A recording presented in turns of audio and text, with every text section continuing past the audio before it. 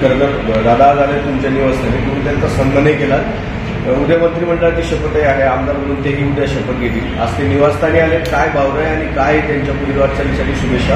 आणि जी कामं तुम्ही सुचवली. प्रामुख्याने कुठली कामं जी आता अंतिम टप्प्यात आहेत ती तुम्ही सुचवलेली आहे काय केलं तुम्ही?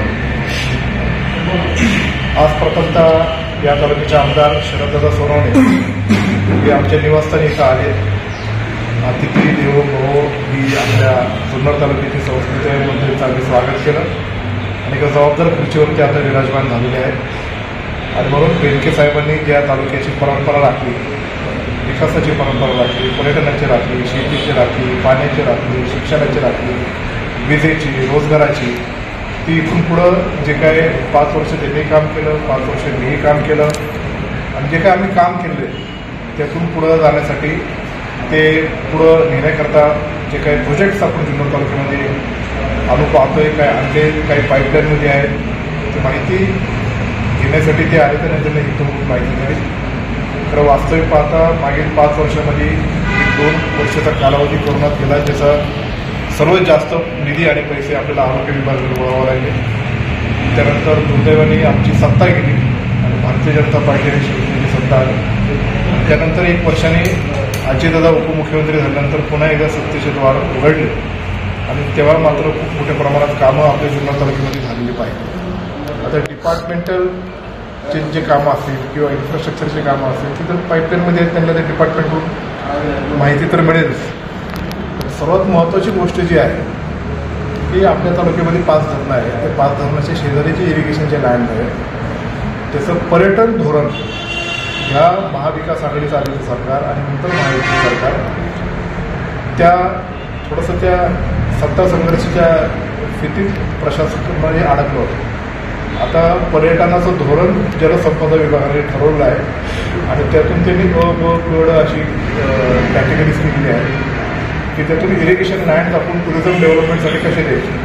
त्यातला महत्त्वाचा प्रकल्प बेनके साहेबांनी जो पाया रचला तो यशवंतराव चव्हाण पर्यटन प्रकल्प त्यातून आपण तो पीपीपी बेसवर पुढे नेण्यासाठी कटिबद्ध आहे. स्विस मेथड ह्या माध्यमातून खाजगी गुंतवणूकदारांना तिथं आमंत्रित करून ते पुढे नेण्याचं काम तिथं आहे ते आपल्याला पुढे घेऊन जावं लागणार त्याचबरोबर वडस धरणाच्या शेजारी जे इरिगेशनचे लँड तिथे आहे जवळपास पंचवीस ते सत्तावीस हेक्टर लँड आहे.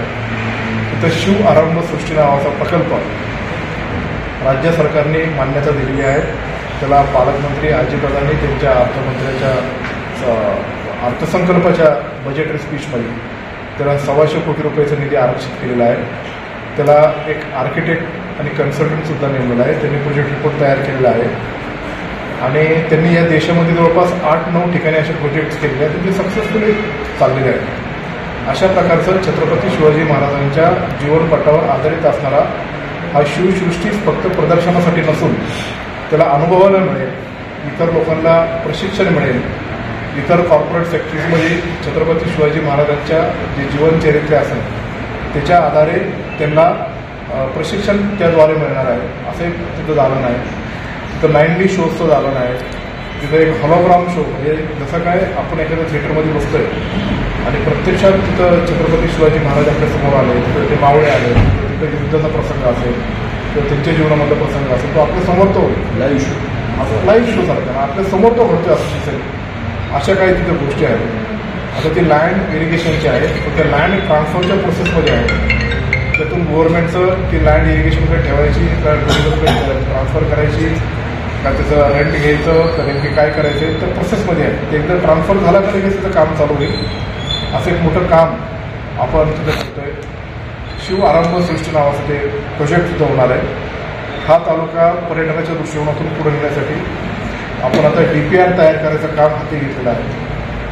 ह्या तालुक्यातले अनेक सगळेच सरपंच सगळे पत्रकार सर्व पर्यटन संस्थेचे काम करणारे यांच्या वेगळ्या वेगळ्या मिटिंग घेतल्या आणि टुरिझम डेव्हलपमेंट बाबतीत तुमची संकल्पना काय आहे त्याची माहिती तो डेटा तयार केला. आणि नोडल एजन्सी म्हणून पीडब्ल्यू डी एक्झिक्युटिव्ह इंजिनियर नेमले. त्याच्या आधीचे आरवाय पाटील होते आत्ताचे बारबाय आहेत. आणि म्हणून तो डी पी आर तयार करण्याचं काम आपण हाती घेतलं. त्याला तो कन्सल्टंट आपण नेमला होता. नेमायचं चाललं होतं त्याची आपण स्पर्धा घेतल्या. त्यांचे प्रेझेंटेशन कलेक्टर समोर झाले. बीओटीचे कलेक्टर होते. मी आमदार म्हणून मी होतो. इरिगेशनचे होते पीडब्ल्यूडीचे होते. अशा अनेक पंचायत समितीचे अधिकारी पुढे होते. त्यातून बाटलेबॉय नावाचा एक कन्सल्टंट आहे. तो फायनल केला. त्याचं प्रेझेंटेशन पालकमंत्री अजितांसमोर पण झालं. आता डी पी सीतून त्यांना सव्वा कोटी रुपयाचं त्यांचं फीज हे देण्याचं काम बाकी आहे. ते आता डी पी सीतून पूर्ण आपल्याला ते करावं लागेल. आणि त्यातून या टुरिझमचे डी पी आर तयार आहे या टुरिझमचे डी पी आर तयार होत असताना फोर सेक्टर्समध्ये आपण काम करतो एक हिस्टॉरिकल सर्किट आहे दुसरं मायथॉलॉजिकल आहे तिसरं नैसर्गिक आहे म्हणजे नेचरच आपण त्याला म्हणतो. आणि फोर्थ हे ॲडव्हेंचर टुरिझमचं आहे म्हणजे साहसी पर्यटनाचं आहे. आणि म्हणून ऐतिहासिक सर्किटमध्ये छत्रपती शिवाजी महाराजांचा जन्मस्थळ असलेला शिवनेरी किल्ला आणि इतर ऐतिहासिक स्थळं असतील नैसर्गिक स्थळामध्ये अनेक निसर्गाचे स्थळं आहेत.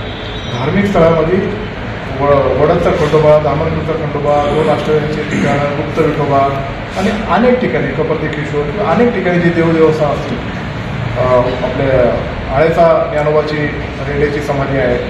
अशा अनेक ठिकाणी देशमध्ये घेतलेलं आहे. नैसर्गिक ठिकाणामध्ये युरे पठारचा पठार आहे अलेक्झांडर गिल्सन पार्क आहे नाणे घाट आहे माळशेज घाटाचा परिसर आहे. अशा सगळ्या गोष्टी आहेत.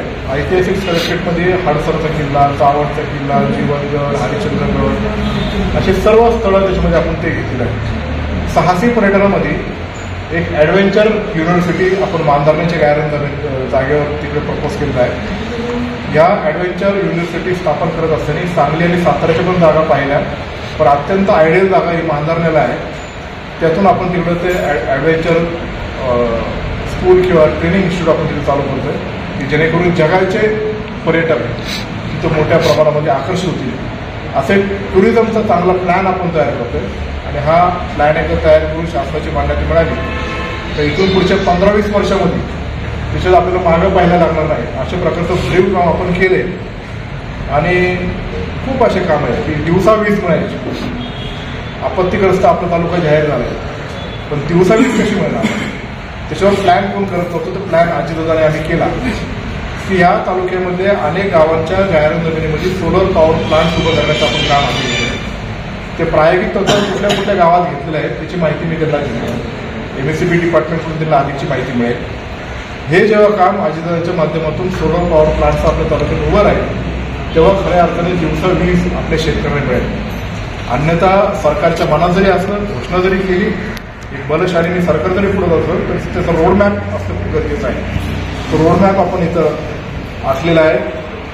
त्याचबरोबर कोल्हे माळ्यामध्ये जे काय लँड ॲक्विजिशनचं राहिलं होतं त्याला अजितदादांनी पंचवीस कोटी रुपये दिले. त्याची आम्ही मोजणी केली. शेतकरी कोण कोण आपण बाधित आहेत त्याची यादी केली. त्याचे जर चार भावंड असेल तर त्यांची न्याय निवाडा केला. आता ते अवॉर्ड होणार आहे आणि ते एकदा अवॉर्ड झाल्यानंतर तो मतदार फॅनचा पोर्शन आहे.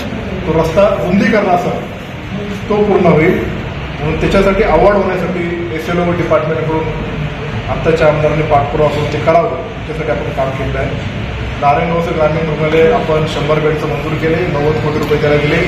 तिची टेंडर प्रोसेस म्हणून वर्कआउट